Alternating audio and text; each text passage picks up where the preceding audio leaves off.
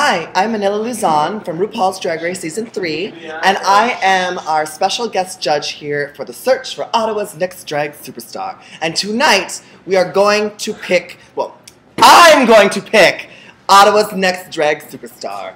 All right, I'm so excited to, um, to see these girls turn it out. All right, good luck, ladies.